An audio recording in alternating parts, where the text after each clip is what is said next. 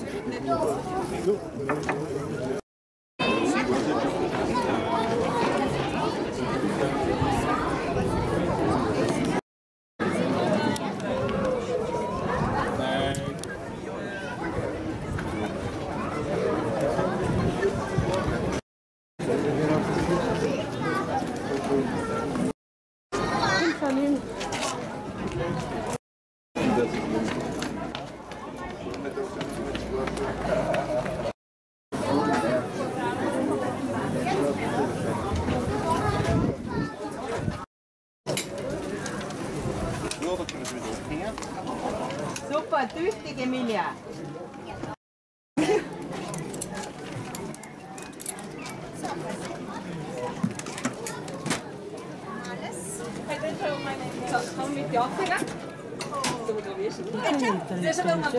Nein, weil ich war krank und ich, ich war links. Was ist denn das Schönes was? Ich war krank, aber ich Na, komm,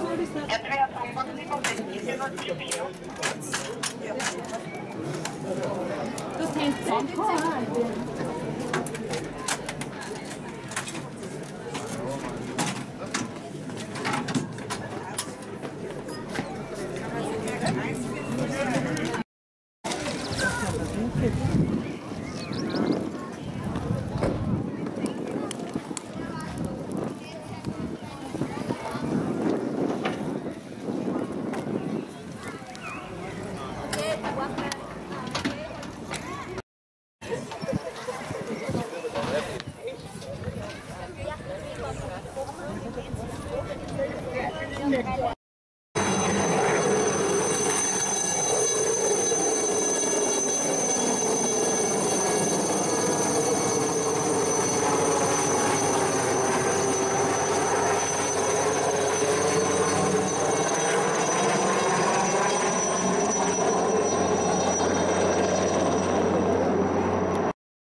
Aufgabe, diesen Festakt für Sie zu moderieren.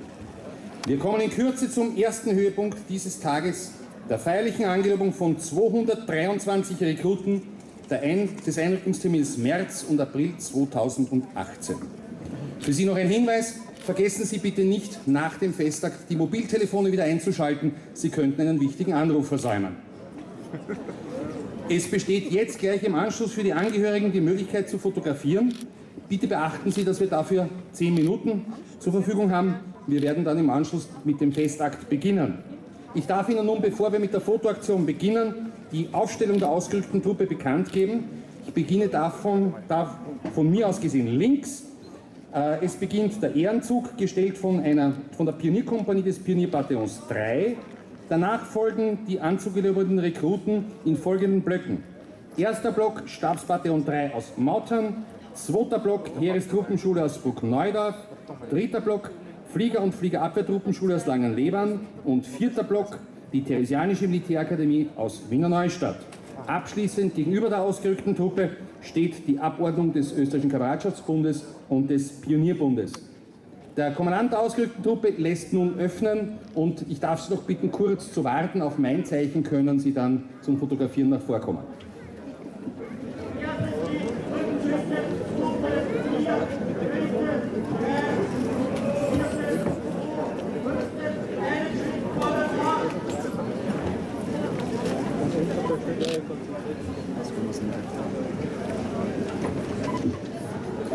Meine Damen und Herren, eine Bitte habe ich noch. Halten Sie sich bitte außerhalb der Formationen auf. Gehen Sie bitte nicht dazwischen hinein. Und wenn ich Sie dann bitte, den Platz zu räumen, dann tun Sie das bitte auch rasch. So, Sie dürfen jetzt auf den Platz und Ihre Angehörigen gerne fotografieren.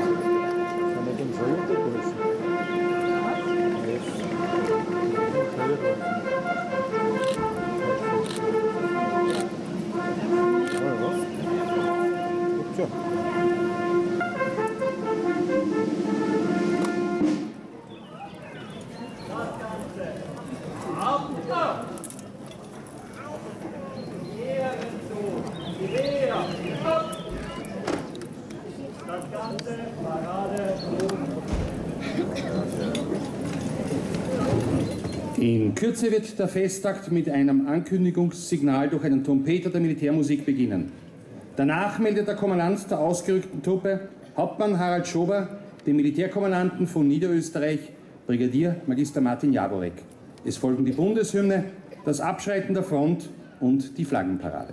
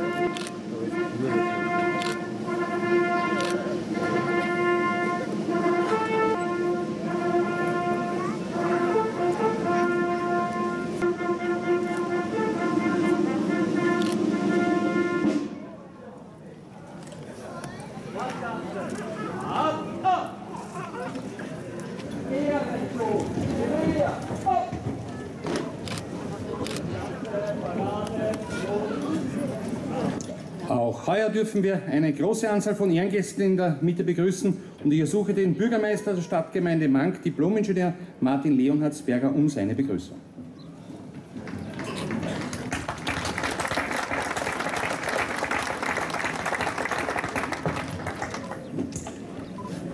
Liebe Rekruten, liebe Gäste hier in unserer Stadt mit vielen Gesichtern. Ich bin stolz und dankbar, dass Mank heuer wieder Schauplatz einer Angelobung des österreichischen Bundesheeres ist.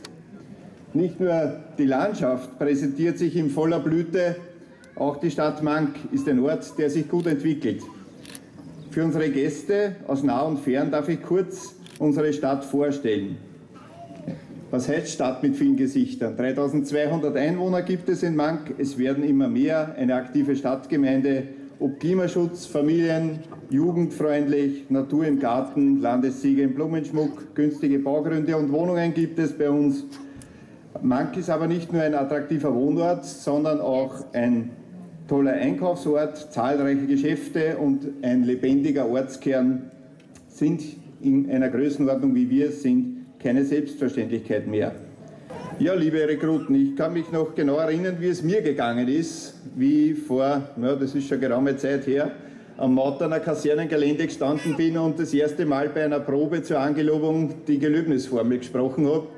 Und da wird einem ein bisschen mulmig. Ja. Was ich auch mitgenommen habe im Bundesheer, dass ganz einfach Kameradschaft keine Grenzen und keine Bildungsstandards äh, oder Herkunft, Herkünfte kennt. Es ist eine Zeit, über die man immer wieder plaudert, von den Übungen, von den gemeinsamen Feiern.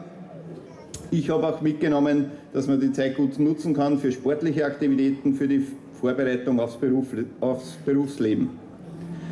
Auf das Bundesheer ist Verlass, gerade im Katastrophenfall. Das zeigt auch die klare Entscheidung der Bevölkerung für das Heer bei der Volksbefragung 2013.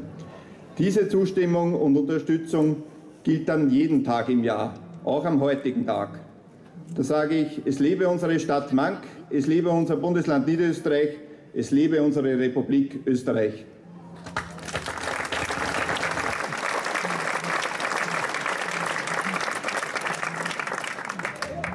Sie hören jetzt einen Choral und danach die Worte der Geistlichkeit.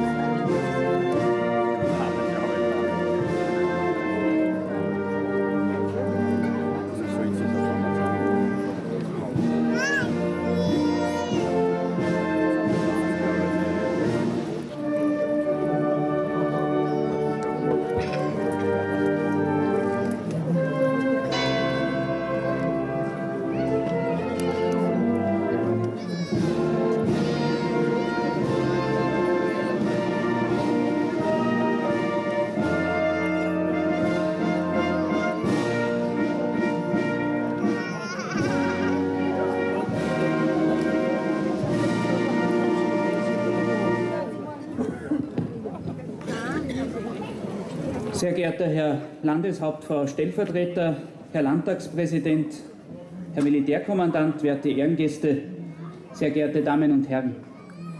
Was hat die Kirche, was hat ein Pfarrer hier beim Militär zu tun? Mit den Rekruten vom Stabsbataillon 3 habe ich das letzte Woche im sogenannten lebenskundlichen Unterricht erörtert eine der wichtigsten, wenn nicht überhaupt die wichtigste Aufgabe des Militärs ist die Sicherung und Wiederherstellung des Friedens. Und das Zweite Vatikanische Konzil, diese große Versammlung der katholischen Bischöfe in den 1960er Jahren, hat diesen Gedanken auch klar zum Ausdruck gebracht. Wer als Soldat im Dienst des Vaterlandes steht, betrachtet sich als Diener der Sicherheit und Freiheit der Völker und indem er diese Aufgabe recht erfüllt, trägt er wahrhaft zur Festigung des Friedens bei. Diese Formulierung gilt natürlich für SoldatInnen gleichermaßen. Herr Brigadier, sehr geehrte Ehrengäste, Angehörige, Soldaten aller Dienstgrade, ein herzliches Grüß Gott. Wir wollen beten. Herr unser Gott, wir danken dir für unsere Heimat, wir danken dir für seine Gaben. die wir seit Jahrzehnten in Frieden genießen dürfen. Lasst unsere Dörfer und Städte stets Orte des Friedens, des Wohlstandes und der Gastfreundschaft sein. Gib, dass die, die heute geloben, diesem Land zu dienen, stets seine Werte im Blick behalten. Gerechtigkeit, Frieden, Schutz und Hilfe. Lass gerade die Orte unserer Ausbildung in den Kasernen und auf den Übungsplätzen Städte sein, auf denen wir lernen, diese Werte zu verteidigen. Lass auch hier die Menschenwürde gelten und die Anstrengung jedes Einzelnen soll gewürdigt sein. Schenke uns den Geist der Verantwortung füreinander und besonders für die, die unseres Schutzes bedürfen. Diese gemeinsame Aufgabe helfe uns, Brücken der Verständigung und Versöhnung zu allen Menschen guten Willens zu schlagen und den Frieden mit allen Mitteln zu verteidigen. So bitten wir um den Segen. Der Herr berühre euch mit seiner Liebe und gebe euch Kraft und Halt. Er schenke euch Freude und Lebensmut. In seinem Frieden könnt ihr behütet weitergehen. Gott möge über euch wachen, Tag und Nacht. So segne euch der Vater, der Sohn und der Heilige Geist. Amen.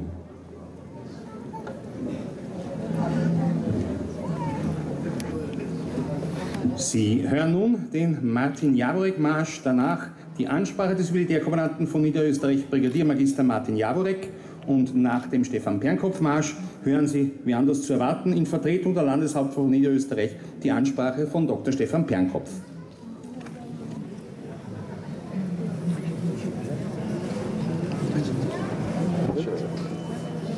Das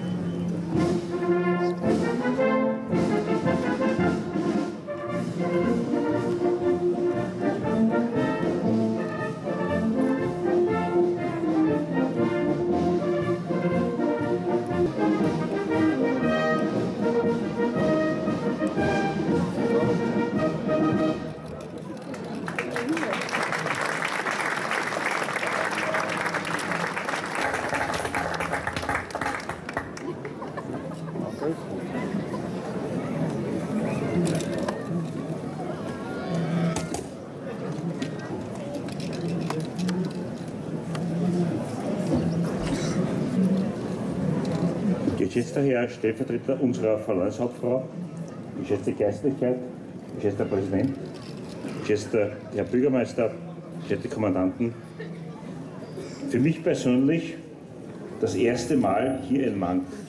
Vielen Dank für die freundliche Aufnahme. Aber vor allem, geschätzte Soldaten, ihr kommt alle aus dem ET März und April des Jahres 2018. Ich gehöre zum Staatsbataillon 3 an, der Theresianischen Militärakademie, der Fliegerabwehrschule, der Heerestruppenschule und heute hier am wunderschönen Hauptplatz der Stadt Mank dürfen Sie oder dürft ihr euer Gelöbnis als Soldaten ablegen. Ich glaube, es ist ein ganz besonderes Zeichen, wenn wir als Soldaten, als österreichisches Bundesheer, das Sie mit der Gemeinde machen dürfen. Und vielen Dank für eure Rechtsscheu an den Kameradschaftsbund, an den Pionierbund Danke, dass ihr gemeinsam diese Feier so würdevoll umrahmt. Und bei 1646 war Mank der erste Wallfahrtsort, wo die St. Pöltener hingebürgert sind. Also auch ein Wallfahrtsort eine besondere Bedeutung. Und eine besondere Geschichte ist, und äh, ich erlaube mir das, äh, Landeshauptmann Stellvertreter, wenn du mir das erlaubst zu erwähnen, es ist nicht meine Aufgabe, aber äh, man muss wissen, der Herr Bürgermeister hätte um diese Zeit normalerweise Sprechstunde. Weil der Bürgermeister, normalerweise hast du ab 14 Uhr am Freitag Sprechstunde und gehört, die Gemeinde ist mit dir voll zufrieden.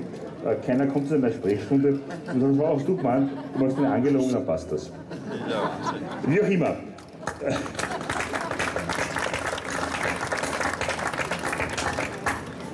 Doch nun zurück zu Ihnen, geschätzte Soldaten. Hier stehen, fallen verschiedene Truppenkörper des österreichischen Bundesheeres. Sie stellen mit ihrer Vielfalt und mit ihrer dementsprechenden Ausbildung und für alle, die das nicht wissen, man sieht an verschiedenen Baretten, Sie stellen die Vielfalt der Leistungsfähigkeit des österreichischen Bundesheer dar. Sie haben sich entschieden, und ich darf als Militärkommandant ganz besonders bei Ihnen und Ihren Familien bedanken, dass Sie die Entscheidung getroffen haben, den Wehrdienst zu machen. Sie stellen die Leistungsfähigkeit Truppenkörper des österreichischen Bundesheeres dar. Sie haben sich entschieden, im Notfall die Republik Österreich, unsere Heimat, mit der Waffe zu verteidigen. Ich gratuliere in Respekt diesem Entschluss. Sie können dies mit der Gewissheit tun, in einem Heer zu dienen, welches sich Werte wie Verantwortung, Schutz der Demokratie, Achtung der Menschenrechte sowie Frieden und Solidarität, Solidarität verschrieben hat. Der Einsatz war im Staatsbataillon 3 unter der bewährten Führung von Herrn Leudl und für die Ausrichtung der Feier und beim Herrn Bürgermeister Martin Leonardsberger für die Einladung des Bundesheeres in deine wunderschöne Gemeinde bedanken. Geschätzte Rekruten, ich fordere Sie auf, Ihre Ausbildung wie bisher, gemeinsam mit Ihren Ausbildern und Kommandanten, mit dem Elan wie bisher weiter fortzusetzen und möglicherweise, geschätzte Kameraden, finden Sie Ihre Zukunft im Bundesheer. Es lebe das österreichische Bundesheer, es lebe die Republik Österreich in einem freien Europa. Aber super. Thank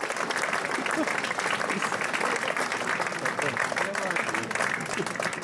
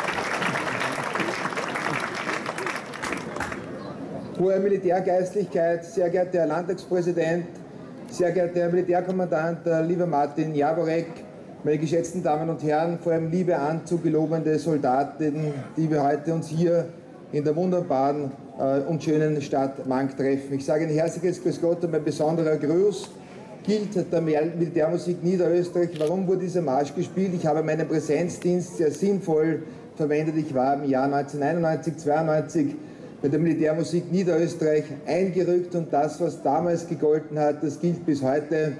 Die Militärmusik Niederösterreich ist eine tolle Kapellmeisterschmiede für unsere zivilen Blasmusikkapellen und das, was damals gegolten hat, ihr seid auch heute noch das beste und sympathischste Aushängeschild des österreichischen Bundesheeres. Ein herzliches Dankeschön für euer Wirken.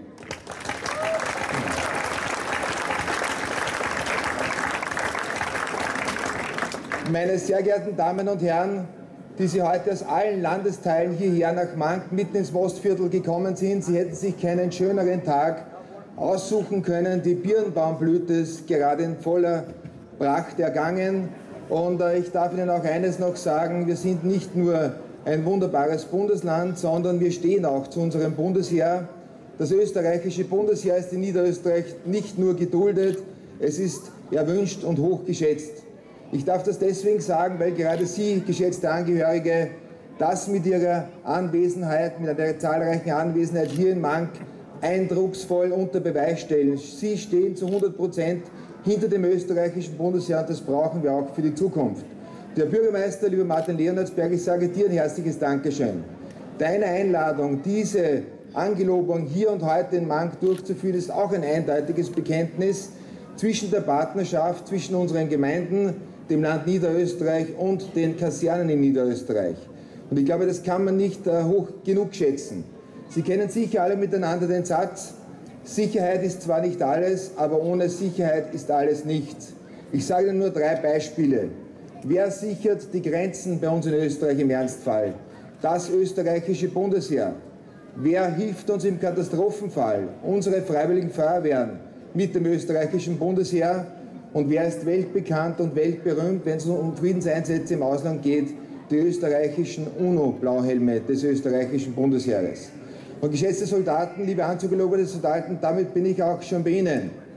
Sie werden heute auf unsere Republik Österreich vereidigt. Das ist nicht irgendein Land, das ist wahrscheinlich das wunderbarste Land dieser Welt. Ich sage immer, wenn wer jammert und meckert, dann frage ich immer, wo er oder sie zum letzten Mal auf Urlaub war. Da stelle ich immer drei Fragen. Gibt es dort ein, so ein Gesundheitssystem wie bei uns? Kann man dort das Wasser aus der Trinkwasserleitung trinken und gibt es dort auch eine soziale Versorgung und Sicherheit? Und Niemand kann diese Frage dreimal mit Ja beantworten. Und wir dürfen heute sehr, Herr Kommandant, ein herzliches Dankeschön für diese tolle Partnerschaft zwischen dem Land Niederösterreich und zwischen dem österreichischen Bundesjahr in Niederösterreich. Äh, Hochlebe unser Heimatland Niederösterreich, ein Hoch auf das österreichische Bundesjahr, ein Hoch auf die Republik Österreich. Danke sehr.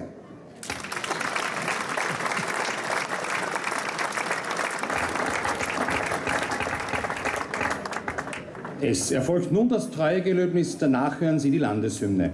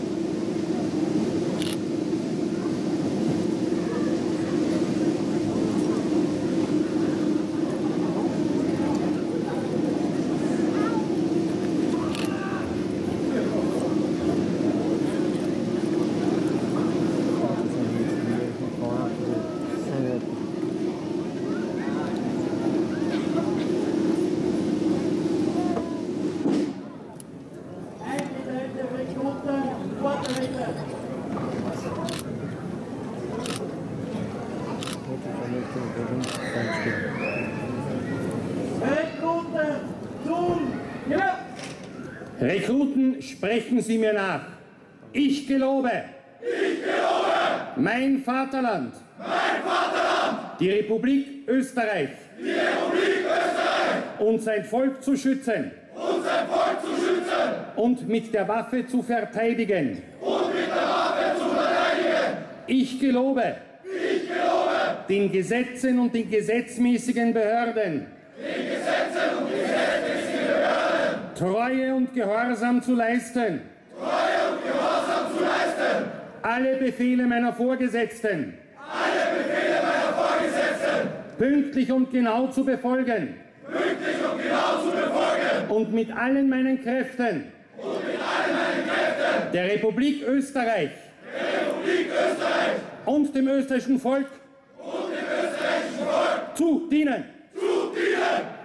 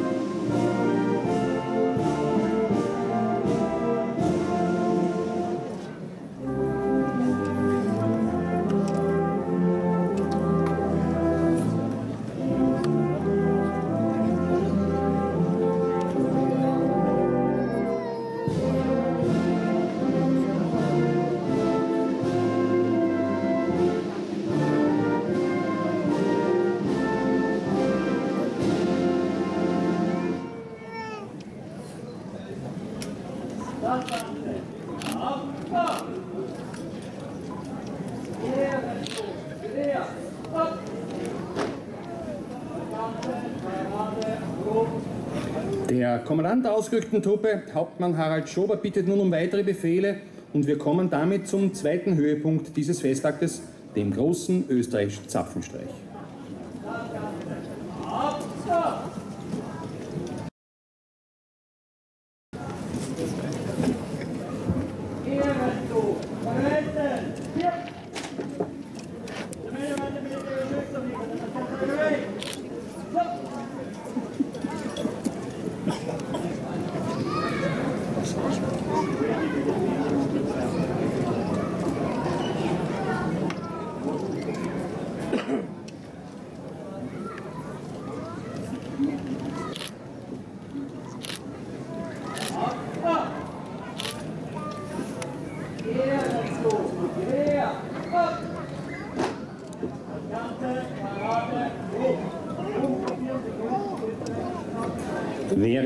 Die Militärmusik Niederösterreich unter der Leitung von Oberstleutnant Magister Adolf Obendrauf nun die Aufstellung verändert, möchte ich die Gelegenheit nützen, Ihnen etwas über dieses Musikstück zu erzählen.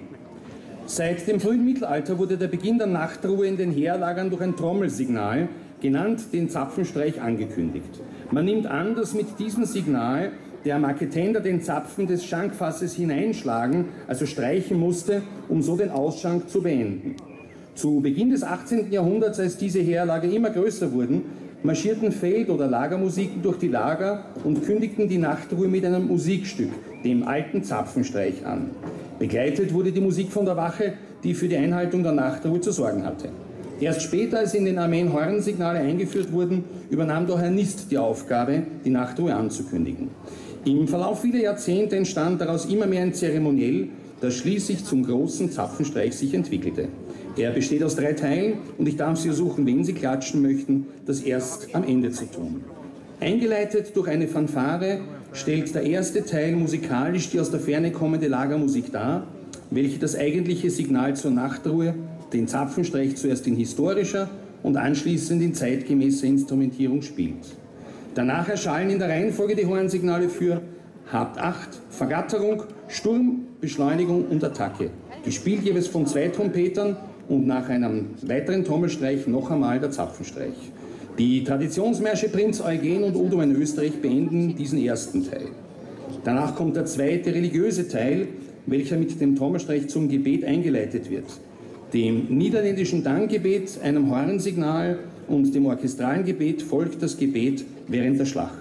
Das Hornsignal Zapfenstreich leitet schließlich auf das Vorspiel zur Bundeshymne und somit zum dritten Teil über. Es erklingt die Bundeshymne und mit dem Abblasen durch den Solotrompeter und dem Abschlagen des Zapfenstreiches ist dieses feierliche Musikstück dann beendet. Mit der Meldung der Beendigung des Zapfenstreiches und dem Ausmarsch endet dann dieser Festakt.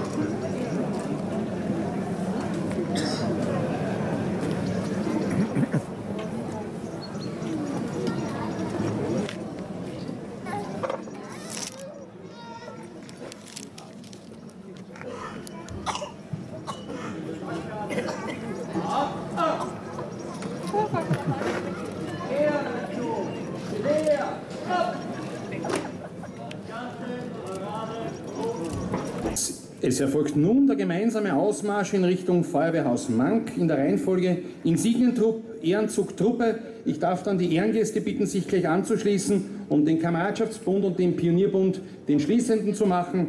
Ich darf dann alle anderen hier Anwesenden herzlich einladen, dem Zug ins Feuerwehrhaus zu folgen. Ich darf mich bei Ihnen für die Teilnahme bedanken, Ihnen noch einen schönen Abend und noch schöne Stunden wünschen. Herzlichen Dank.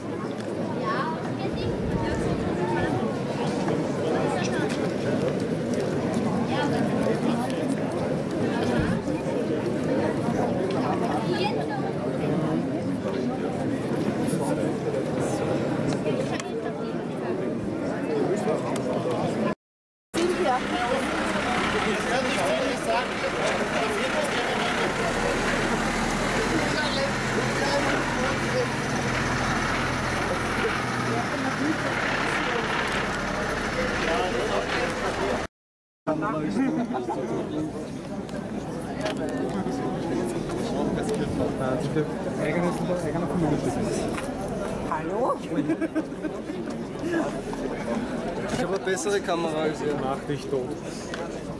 Ich habe eine bessere Kamera. Ich habe die Blut, dass er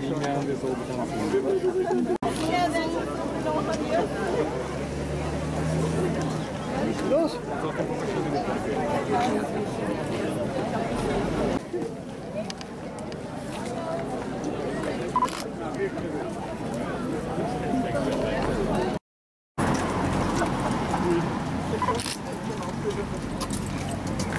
Eu peguei.